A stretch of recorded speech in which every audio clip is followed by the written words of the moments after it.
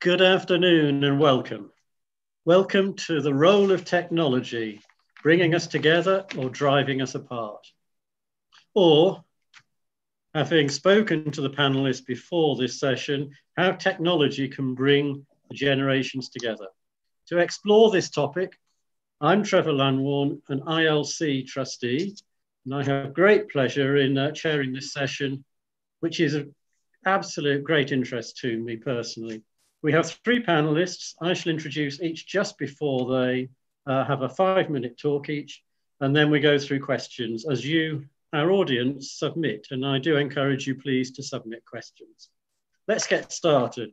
Our first speaker to set the scene is the Global Vice Chair of Industry at EY.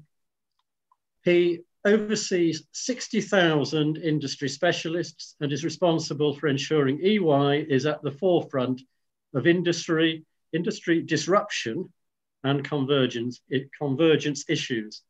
So for a very interesting start, please welcome Shaun Crawford. Hi, thanks, Trevor. Uh, great to be speaking to you all. Um, yeah, so where I'm going to come from, um, EY uh, every year does some research on end consumer behavior, and particularly around this point around the different generations and how they adapt to technology, technology technological change. Now, um, what is really interesting is we ran some research, and this is the first slide coming up here now, uh, which was um, run in September this year, which was in the UK, which was after the first lockdown. And, and if you have a look at this, what you can see is some quite incredible changes here. Prior, prior years, where those red and yellow columns are at the end, which are the over 55s and the over 65s, they were going down a sliding scale lower and lower and lower. What we found is that the vast majority of uh, the people over 55 are tending to use technology far more than they ever did in the past. And if you look like 36% of all respondents have tried video calling for the first time, but the adoption of online shopping has been highest amongst those over 65. And as you can see, using, uh, using household bills, paying household bills online, uh, managing the public services often online too, all those things have been real generation shifts where these people have realized the pandemic has been a crisis and they, when they previously have not adopted, they have adopted technology. If you can just move to the next slide. So what we're seeing here is use of exist, usage of existing services during COVID-19. So if you look again here, you're seeing 45% of all households have used the internet more often for browsing and 41% have made more group video calls since the crisis began. Now we look at the over 65s, they're still reliant on fixed line telephony. But look at the fixed number of fixed increase in fixed line phone calls that have taken place as a, uh, through the pandemic. And one in five of this group use their line lines more than ever before than, than the, the, prior to the national lockdown. So quite an interesting mix there and quite really interesting to see how the older population have really adapted to technology. Please go to the third slide, my last slide I'm going to show what we see here is that digital, digital anxieties during COVID-19. And again, this is quite an important point. The concerns around data privacy and security are, are, are, pronounced among all households, especially when people are getting cold calls from different parts of the world, challenging them about their cards, their payments, etc.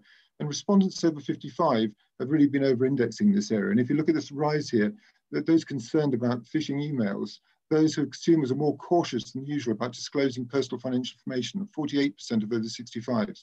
Households are concerned as to what personal information or data is captured, uh, over 65 55%. And last year, previous year, they weren't really interested in this because they weren't really using technology. But now suddenly this becomes important and they're really very concerned. And 5G has become the, has become in, in very popular now as people talk about whether which which uh, services are going to be used, which are not going to be used, privacy data problems. Over 65s particularly wary about them and wanting to make that point about service providers and the government in the area.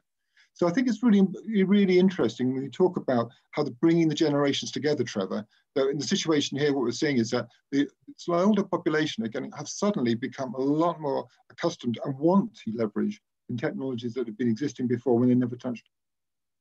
So I think I'd pass over to you, Trevor, back to, back to the next speaker. Yeah, thank you ever so much, Shaun. I just find that absolutely fascinating, the massive change that's taken place and how it has done a levelling up rather than a levelling down or a further divergence. Brilliant. Thank you very much, Shaun. Uh, next, we have the Chief Executive and co-founder of Caribu, the leading educational family entertainment platform uh, for kids to have a virtual play date with family and friends. I'm going to be fascinated by this. So to learn more, we are delighted to hear from Max Tuchman from Miami. Over to you, Max. Hi, guys. I'm so honored to be here um, because our product uh, is Caribu, as you can see behind me. Um, and we bring families together through virtual play dates. So we allow grandparents to read, draw, and play games in a video call with their grandkids, no matter how far apart they are.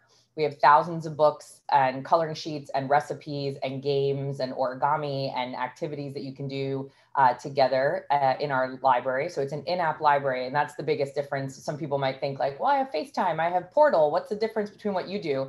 We have our in-app library that allows grandparents to have conversation starters, right? We found um, that grandparents are, are, you know, having the most difficulty with the pandemic, not being able to see their grandkids and not being able to recreate those magical moments in real life and in person that they used to have.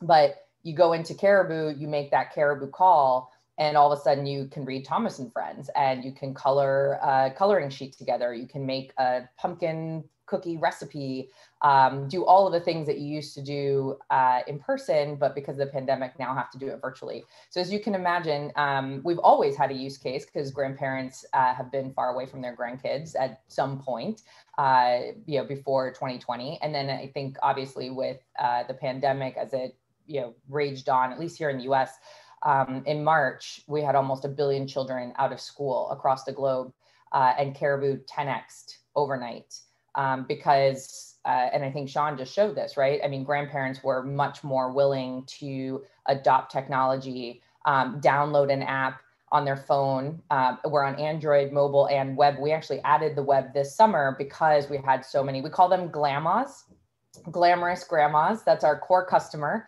Um, and uh, in Spanish, it's fabuelas, abuelas fabulosas, because we're in Miami. So, of course, we have a Spanish name for them as well and um, you know for for these glamas for grandparents in general across the globe and we have customers in over 200 countries and territories and again books in 10 different languages. Um, you know when the pandemic uh, when people I think realized that they they were not going to see their grandkids for the next 12 to 18 months, Caribu became a lifesaver. And we've heard so much uh, feedback from grandparents who we had a grandmother in Canada whose grandkids are in the U.S. and she was starting to get depressed because of the social isolation. Right, social isolation is a very big problem um, uh, outside of the pandemic. And uh, she said that Caribu lit up her world um, and that it was a game changer for her and her family because she was actually and and she talks about um, you know kind of back to our topic she says you know technology not only enables connections but because of things like Caribu and the technology that's available today you can actually enrich relationships. Um, and we had uh, a father actually on twitter recently in india who said that his parents haven't met his nine month old son because of the pandemic. But again, technology really plays a role um, in connecting people so that they can still engage him in play and read books to him that are high contrast for babies in our zero to three category. So, um, know, I think for families right now, the number one priority is to stay safe, but the number two priority is to stay sane. And we're very grateful that Caribu exists and can help families stay sane. Uh, thank you very much, Max. Uh, I love the idea of glamours um, I shall remember that one. Uh, just uh, if you can just tell us what you were saying before we started about Apple, um, just to give some context. Uh, if you're able to say that. I that can, I can. We can announce it. So uh, yesterday, uh, Caribu was named one of the top 15 apps. Literally, there were only 15 apps uh, kind of awarded yesterday by Apple, but we're one of we're one of them, um, one of the five in the helpfulness category. Um, and we were awarded that yesterday because of the work that we did in 2020 to connect families to make sure that people, again, had a, a better engaging relationship building type video call uh, across the globe with the multi generations, right? We serve five year olds to you know 75 year olds and everyone in between. Um, so yeah, we're, we're, we're pretty excited about this. Uh, thank you very much, Max. That's wonderful. Uh, before I just move on, I'm just checking, but I don't think any questions have come come through yet. So please uh, do submit questions. Um, Now, um, finally, please welcome uh, Jisella uh, Dolan. She is the Chief Global Advocacy Officer uh, at Home Instead Senior Care. Home Instead are the world's leading provider of at-home care services. They are in 1,200 locations around the world, with many in the UK and the USA. So from absolutely key sector for this discussion and based in Omaha, Nebraska, over to you, Jisella. Thank you, Trevor. Uh, hi, everyone. It's nice to see you. Good afternoon. Thanks for joining us. And congratulations, Max. It's wonderful. A testament to the work you do. And we see that play out every day at home instead because we do serve our older populations and we know the importance of connecting with their families, their um, children, and their grandchildren, and the ability of our home care services and technology working together, that marriage, that magic to help us provide more care. I also love what you said, Max, about enriching relationships. At home instead, we our motto is relationship before task.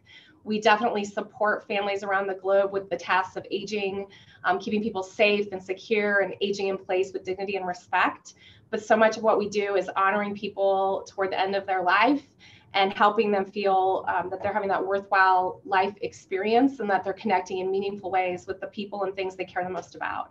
So we've been providing care in the home for 26 years, kind of before the internet and all the things, the apps and all the wonderful technology we see today.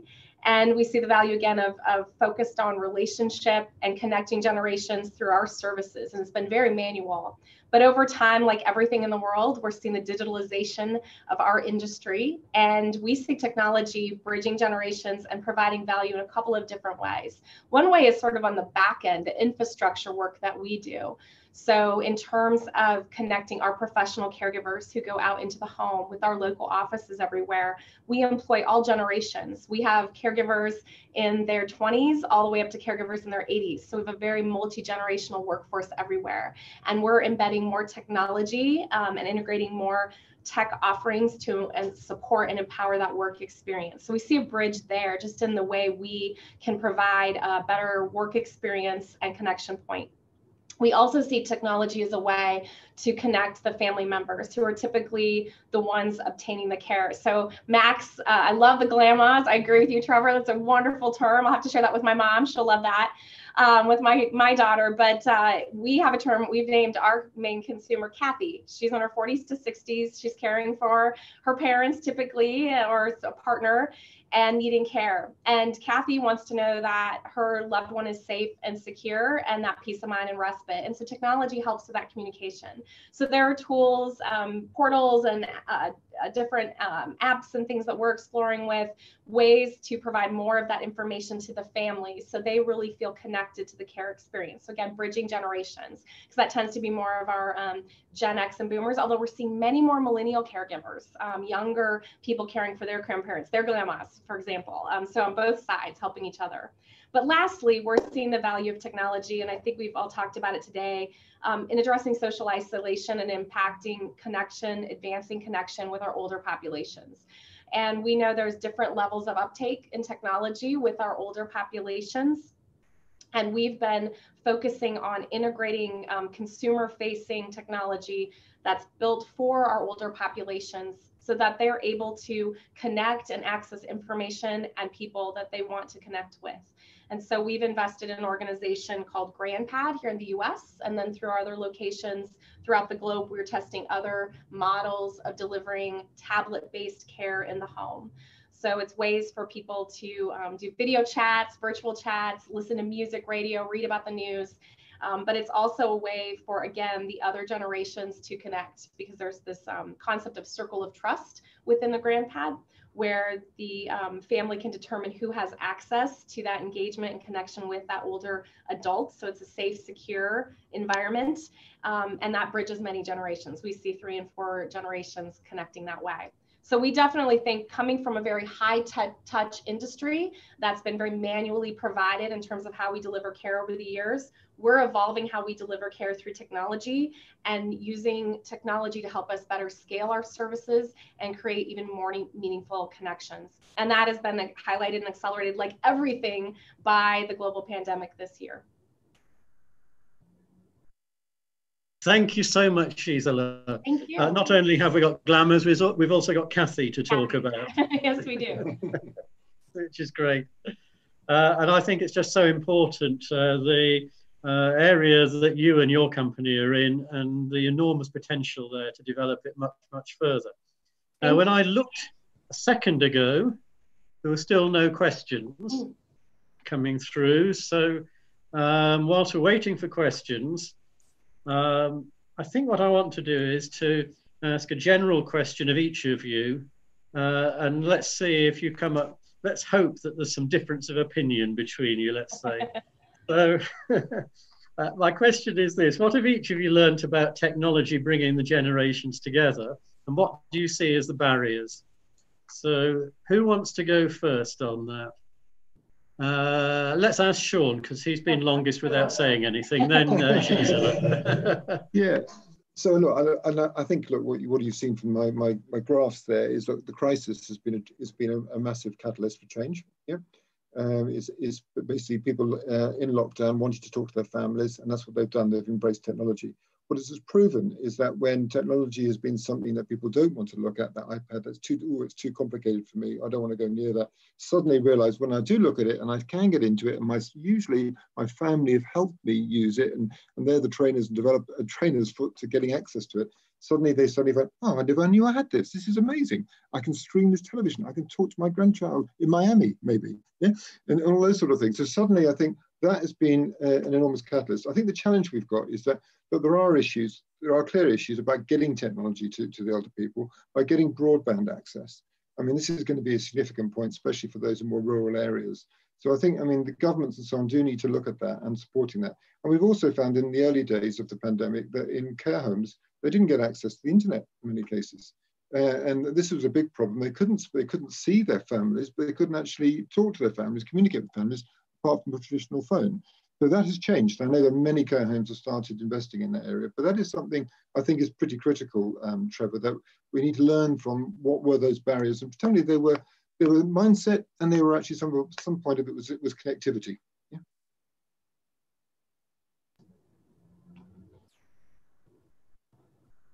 So uh, absolutely, because uh, I've got personal experience of uh, that uh, with my mother, who was in a care home, and she just we just couldn't connect with her uh, with her over Wi-Fi. Um, uh, who was going to go next, Jisella? yeah, I, agree with you, Shaun. As we look at technology, and, and one of the things we've we've appreciated about our GrandPad is it's both um, Wi-Fi as well as um, um, able to be accessed through cellular services. So that provides an expanded accessibility, which we think is so important, especially, you know, we're, we're global. So we look at developing countries and how we can bring more technology to our developing countries. So access um, is just critical. So agree with that. I think what we've seen in terms of technology is there's so much technology out there that's remarkable. I listen to what Max, what your your organization's built, it's beautiful, and what we're seeing in the development of apps and um, the wearables and the drones and all the things, um, they're they're fantastic. Where where we're at with our local footprint, we're with more than 100,000 people every day. Um, the challenge has been just the uptake of the technology in the in the right manner um, I think like anything in life, I think we all use our, you know, our cell phones and, and our cars. And when we have updates in the technology with the software, it's like, darn it, now how, where do I find this app? You know, we all, it's change management. So much of this is about um, accelerating change management, change in behavior so that we're able to integrate these tools and resources that are so valuable, these innovations that are so valuable in our day-to-day lives.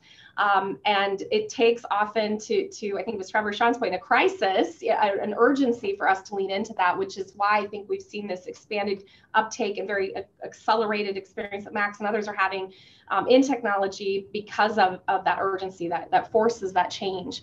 But where we sit with our local footprint and being in homes, we find if we can be the ones to bring the technology in with the family or with our professional caregivers and engage our older population so they understand the value, they see why this is meaningful to them. Mm. Um, when you listen to what Max is talking about, we see the value they connect with the people they love the most. If we can share that value proposition if we can explain that why about all these different wonderful innovations and technologies in a way that all generations can see that value. And then we have organizations like ours that are there that can help people lean into that and use the tools in the ways that are going to help them achieve that value.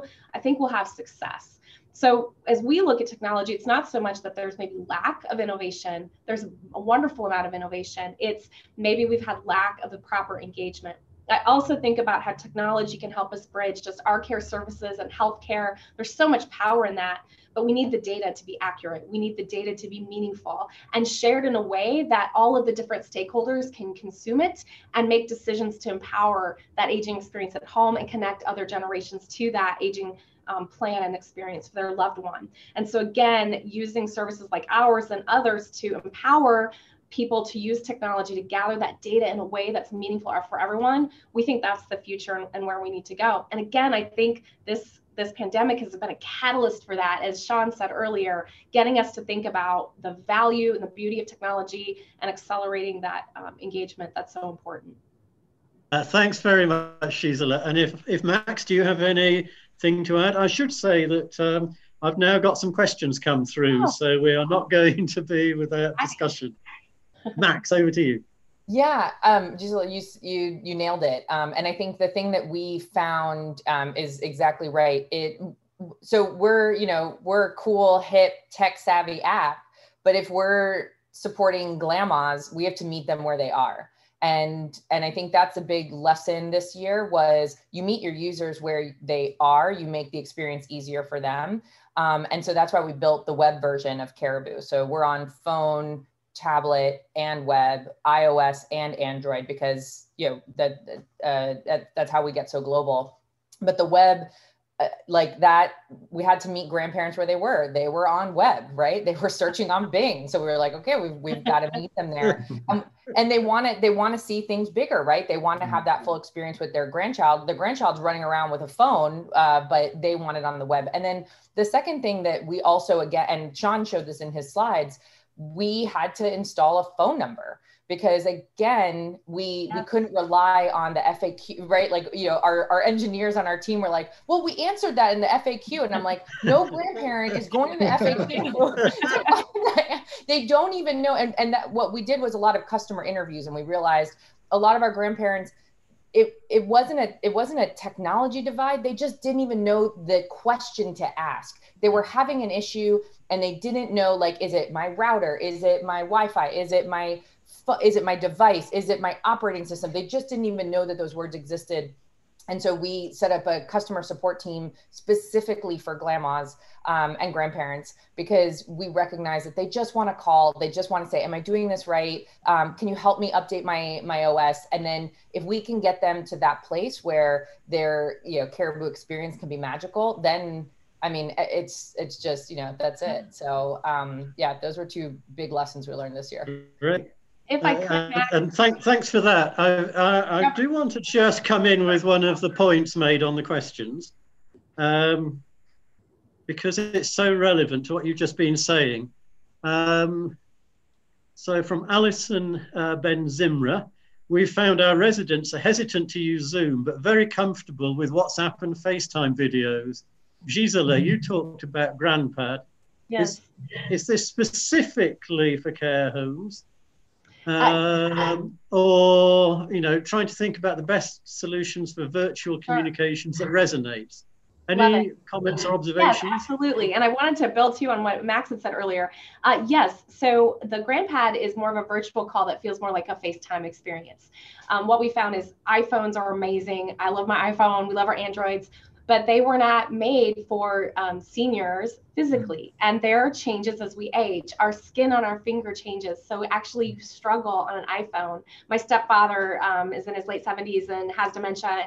We've tried to have him use different tablets, and he's like, they don't work. And we think it's because of his dementia. It's actually his hands don't move the things like we do, like our hands do, um, and hearing things and seeing things, you know, wanting things to be larger and all of those things as we age, that aging journey, those are, that's, I love what you said, Max, meeting people where they're at. So actually GrandPad, um, they, part of the, what we love about that organization um, and why we're working with them is they've got a set of super seniors that are on their board and their 80s and 90s that inform them and pilot and test the GrandPad and give feedback. And that's how they discovered the things about the fingertips and the sight. Um, they discovered that if um, the charging, plugging of a plugging of the GrandPad into the, the wall for charging, which seems intuitive to many of us, was difficult for some of the seniors. They actually had a woman who got a, a, very long charging cable, feet and feet and feet and feet, and duct taped it to her GrandPad because she didn't couldn't remember how to plug it in and she didn't want to lose a charge. And they're like, be an easy dock.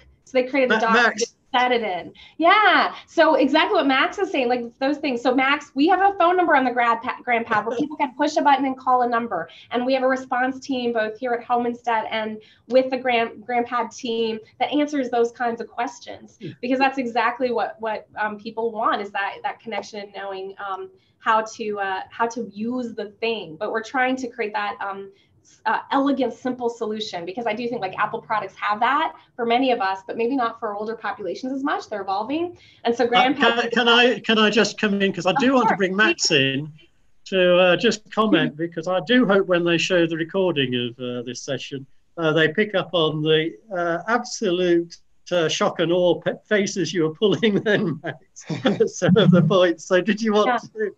To, to raise anything on what Jisella has just been saying. Yeah, I mean, she's she's saying exactly what's happening, and it's um it's so. I mean, even the iPhone when it was built, I remember as a woman, I was like, this was not built for me, right? Like I was like, I have long nails, like why can't I tap with my right? Like there's just.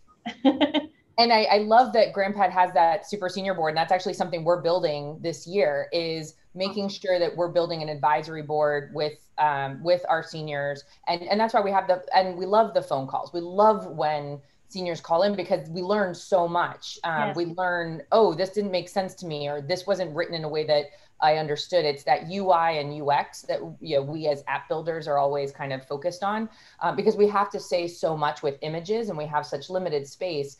Uh, and we're we're telling a story, and and we're actually pretty proud of the fact. And again, we're so excited about this award because we have to tell that story in images for a five year old to understand and a you know 65 year old to understand sure. and i think um, again that ability to to jump on a phone call with someone who's you know not frustrated because that's that's actually what we also found is parents ended up being the geek squad mm-hmm. right um, or the apple genius support during the pandemic because you couldn't go in to the store anymore right and you couldn't um, so it was it was us it was our millennial generation and our millennial generation was like we're already stressed with so many other things i don't need like yeah. Right? so, so just Jisella, I, I want one of those GrandPads I think that yes! is brilliant. And what oh, I've learned, what I've learned from this call today, one thing I'll take away is the skin change for the older people. I hadn't realised my 89-year-old father has not got dementia, but he struggles like hell with his little telephone uh, television control. And you're right about the charging. I think that is brilliant. This is something yeah. we do need to push very hard. we need to be thinking about for sure.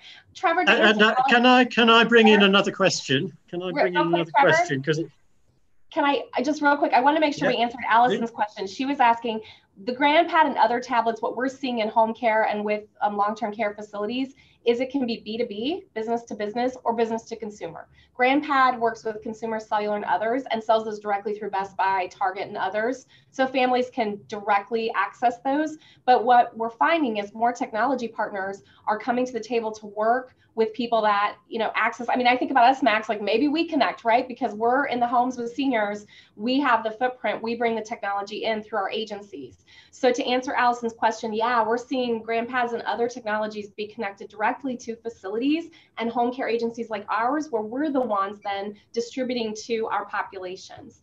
And because of the wi-fi and cellular access in a facility we don't have to worry about plugging into the wi-fi. They can use the cellular tower and, and coverage that exists within that, that long-term care home. Thank you, Trevor. My pleasure. It's great to hear from you. Uh, uh, we've got a question from Diane Kenwood, which is very relevant because she's been asking, uh, what is it that you can do to make sure that the elderly generation can keep in touch with further developments as they go on from time to time? And I've been so impressed at the way you're all coming up with solutions, and I just love that. Are there any solutions for this issue about how to um, keep them up to speed on what's going on? Hands up if you want to answer it. Happy sure. Yeah, so look, I think what we talked about, what we've learned suddenly is that over the course of the last few months, is that people have picked this up because who they've been speaking to, they've been probably speaking to their families. So their families probably are tend to be the people who are going to be able to help them understand the next generation of technology because they're going to get more inquisitive. And I'm certainly seeing, I'm sure if we run the survey again in December after the second lockdown, we'll see even further rises, but more inquisitiveness about, wow, this technology's done this, maybe something else can. And I go back to it, Jisella, if we can get these GrandPads or equivalent technologies out there to make it easier for them to use, easier yeah. to charge, then I think we're going to see a, a, another generational shift. Absolutely. I would suggest um, too a way to connect is I think some of that is on us in the home care industry and with long-term care organizations that regularly interact with our older generations, even if we're not tech companies per se, I think it's our job to connect with those resources that make your aging yeah. experience better. And so we really look at our, our services. We do a lot of care coordination. We're connecting families with durable medical equipment. And um, if they are looking at maybe facilities down the road, long-term care homes, we look at those with uh, pharmacists and so forth. We think technology is another institution or, or resource that we are connecting um, those we serve and their families with. So I think there's a real opportunity for technology companies to think about who is most often connecting with um, the, the millennial, Gen X, Gen Z, and then boomer and older generations, and where are their roles in the aging experience? Are they a family member getting care for a parent? Are they the, the person needing care themselves? And, and who are they serving? And then bring those resources forward so that we can then share those out. I think that's one way to get it out there. I also think it's just um, you know, technology, understandably, we go towards younger people. A lot of our products and services, fashion, we think about younger generations, and that's mm-hmm. important. We need to do that. But we need to look at who our consumer base is going to be and who's going to be buying services and products into the future. I don't know the numbers across the world, but I know in the US, it's women in their 40s to 70s will manage most of the GDP of America for the next decade. So if you're in business and offering services and products, you should probably be thinking about what might they want. And as they age, they want to have an empowered aging experience. So as we have more tech companies spin up, let's think about how we connect with seniors. And I would suggest, like they do at GrandPad, bring in older people to speak to their peers about technology and it's peer to peer and bring younger generations in to connect with the older generation so they can empower and share as well.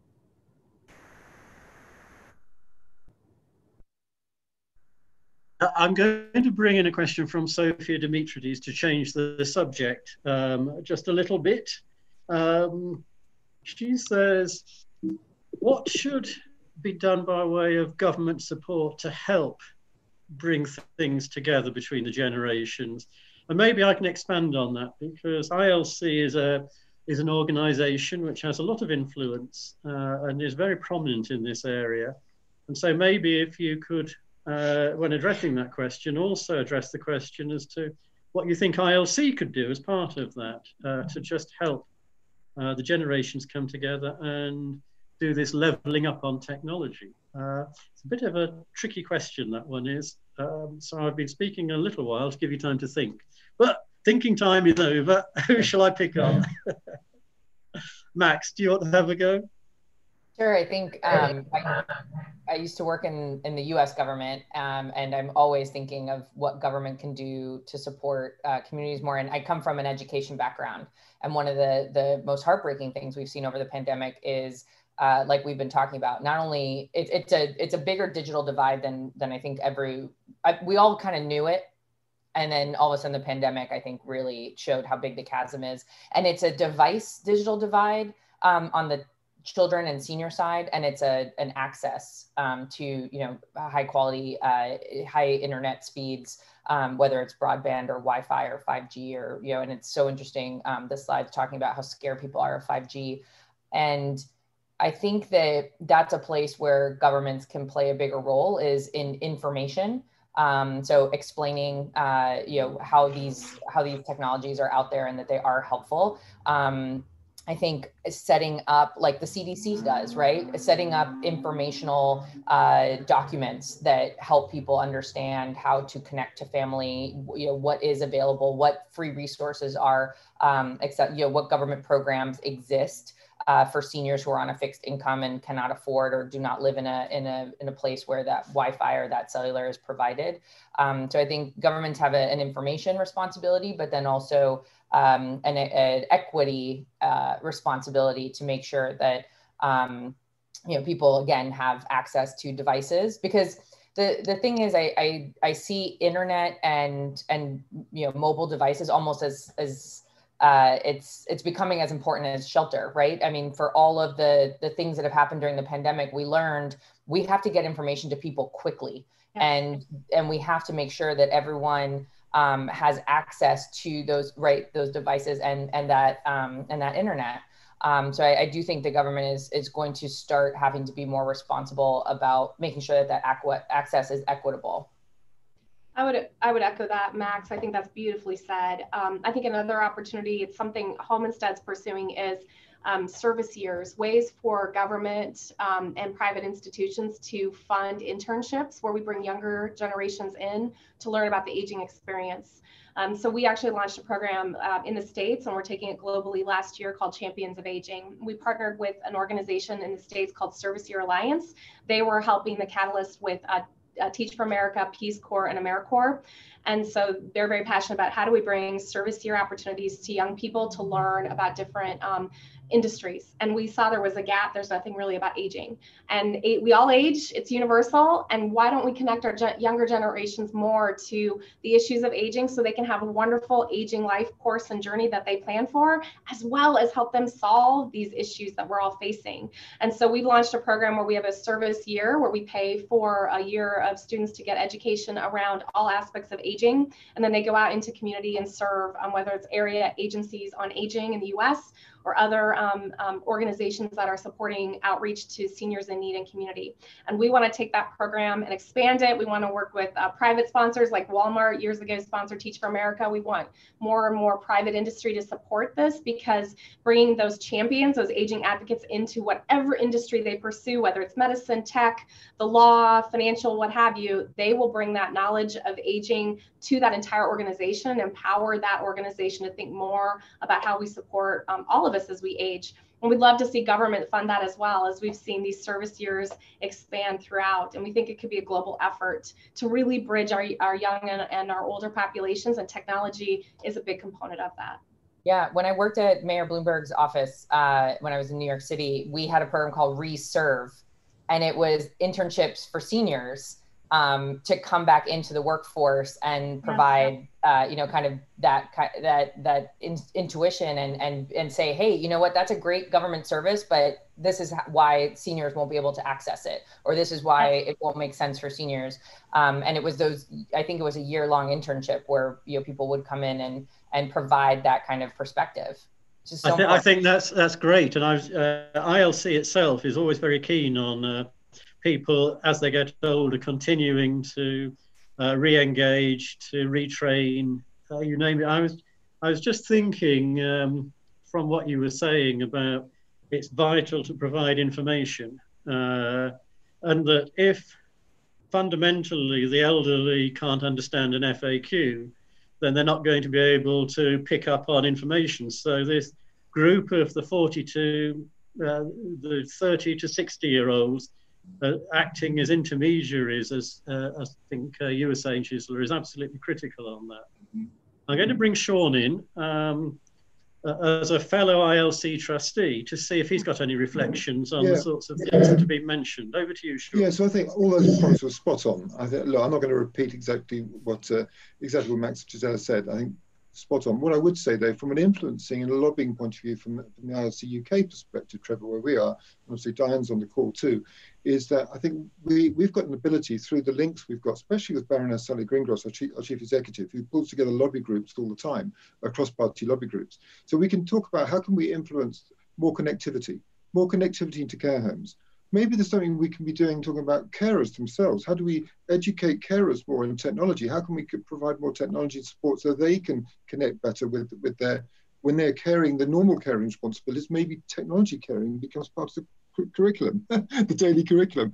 It's those sort of things that we, I think, can can help. And I think, Sarah, your last point there about the, uh, bringing the private sector, I think the cross public private sector point is important. Private sector are keen to play a part, and I think the public, again, from a government point of view, we should be lobbying to make sure we get these cross party groups yes. and get private sector people involved. That's what we do at the ILC. We bring companies together for helping in the lobbying and sponsoring. We bring them into these conversations. So I think there's some really good food for thought there and some opportunities, um, Trevor, that we, we could be picking up there. Uh, from this Absolutely. Well, one of the, uh, a couple of questions have come through um, about differences between the United States and the UK. Uh, let me just see if I can read one of them. Um, uh, uh sorry about this, Max. Um, I was keen to introduce, this is from Judith, I was keen to introduce Caribu, um, but I was finding the dialogue was very American English. Are you going to do anything? Um, and um, let me just find another one. Um, is anyone aware of organisations' efforts to support older adults with access to technology devices in the UK, for example? That was from Rosaria. Um, any sort of thoughts on uh, being divided by a common language or whatever the phrase is? That's actually something um, that we've been we've tried to be very thoughtful about is recognizing that we serve a lot of different users across the globe and even here in the United States, right? I mean, we serve so many languages uh, in the United States. I mean, we have tons of books in Spanish um, on Caribu and even Haitian Creole, which is a huge community here in Miami. Um, what we ended up doing, and and I, I, love the feedback. We have a ton of Usborne books and Thomas and Friends, so there's some UK friendly uh, content on Caribu. But as we expanded globally this year, uh, we started building out more of our activities and games because of that fact that we we knew that there were um, regional dialect issues, right? Or even in Spanish, I speak Spanish, um, and my Cuban Spanish is much is very different from Mexican Spanish, right? There's a lot of different words, so the activities and the games um, being kind of increased this year was was a, in a response to that because it, the publishing world is is very difficult to work with, um, and it's slow. Uh, and so we were like, all right, well, we're just going to create our own content and make sure that people have, uh, you know, activities that they can still do on Caribu, no matter what language or dialect they speak. I I would add to just we we have a number of locations throughout the UK and the US and and there are differences culturally and language and so forth and we want to honor those. And I think the, those questions by Rosario and others is, are really well placed and I think it comes down to how highly personalized our aging journeys are and how highly localized it is. And we have these amazing solutions like what Max's company does at Caribu that we can transcend across um, boundaries and oceans and communities to connect. So we have these wonderful enterprise level solutions that, that can serve everyone really.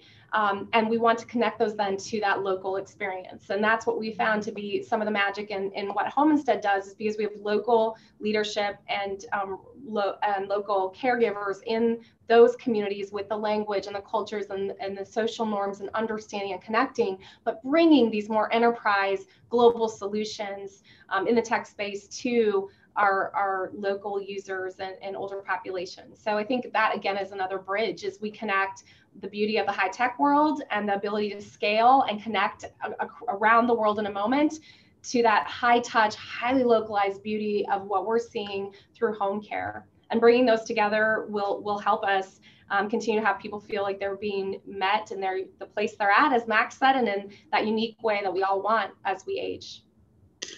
Thank you very much. Uh, and uh, I think one of the benefits of webinars like this event is to try and do those bridgings. I think it's tremendous for assisting in, in that area. Um, now, we've only got a few minutes left, and I've got another question from Diane Kenwood I just want to put to you as, as perhaps your final question, and maybe uh, have a minute or so each in, in response, which is, everything that we've been talking about so far has been about innovations and how technology can help. Do you see anything from what you've seen about technology driving the generations apart, which is part of the headline for uh, this talk? So, are you seeing anything or experiencing anything which is causing generations to go apart from technology? And what would your thoughts be on how to resolve that or find solutions to make things better? Um, once again, um, I don't know who to go to first. I'll uh, I'll pick on Jisella. Okay. Sorry, I'll pick on Thank you, you Trevor. I'll, I'll try to do the crowd. Uh, I we haven't seen a lot of division in our experience in home care. I know it exists. I would suggest that the best way to continue to use technology to bridge generations is have um, our younger generations help connect our older generations with that technology, whether it's in ways like Max's company does or through our home care where we have younger family caregivers and professional caregivers in, in being empowered with technology and connecting their older loved ones with technology. Um, we think it's a way to, to connect and, and strengthen those relationships. So again, I think it's um, all of us learning from each other and using those tools in the way to to connect and and have each person feel like their, the relationship is meaningful and that both are being heard and connected in ways that maybe technology, other than if they didn't have technology, they wouldn't be able to, to connect. So um, we haven't seen major hurdles, but I think we just need to be very meaningful and mindful as we move forward with integrating more technology into our lives. Yeah, I would actually echo exactly what you said. And I think back to the, the piece about customer support, I think if there's anything that has that that if there's any place where technology has kind of driven people apart, it's that millennial parent feeling like they have to be the geek squad for the the you know grandparent.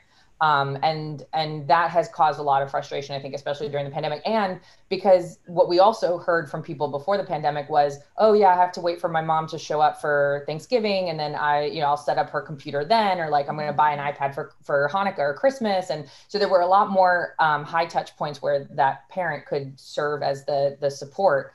Um, and so I I think knowing that that could cause fissures in families and multi generational families, I think we as companies and again as governments need to do more to support um, grandparents and seniors where they are um, so that that burden there's almost already such a caregiving burden on um, the you know that the 25 to, to you know 50 um, kind of parent group uh, I think I think that's a place where I I see more problems coming. I don't I don't you know I don't think it's I don't think it's on fire yet, but um, that's a place where I think more organizations, especially like the ILC, could come in and, and support uh, families more.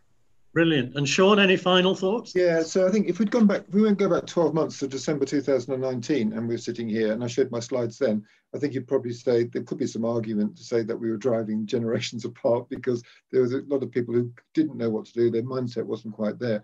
But that's definitely changed.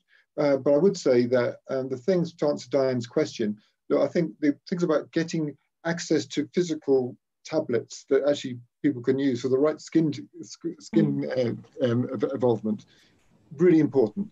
Making sure that the connectivity is in place, those things, and they, until we get those placed, especially in, in developing markets, which I, I guess you're, you're from a global perspective in Africa, etc., is going to be a real challenge. Yeah, so I, I imagine that issue is still there to a degree. I don't know what the research shows, but I would say that uh, it, there's been a, obviously been a dramatic change, but I, I would watch out and make sure we get those other points right. I think we can we can change it even further. Those generations come together. Uh, thank you very much, uh, all of you. Um, there's been so much wonderful input there from everyone and lots to think about. Uh, so for you and the audience, I would encourage you to, um, you know, look through this again and pick up on some of the things that have been said uh, when you get the link as I'm sure you will. I'd just like to finish and conclude by saying oh, an absolute tremendous thank you to all our panelists for uh, being so open and sharing of everything that you're doing. It has been great. And, and with that, I will say goodbye, everyone. Thank you very much. Trevor. Thanks, Matt. Thank you. Thank you. Bye, everyone. Bye bye.